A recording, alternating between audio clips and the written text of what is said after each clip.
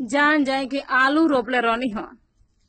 ना जाने कौन भागी जाके हमर सारा आलू या कोड़ ललस हई मोदी जी, सगरो शहर में सीसीटीवी कैमरा लगावत तारे एगो दूगो हमरा खेतवा में लगा देतन तो चोरवा तो पकड़ते सन हैं?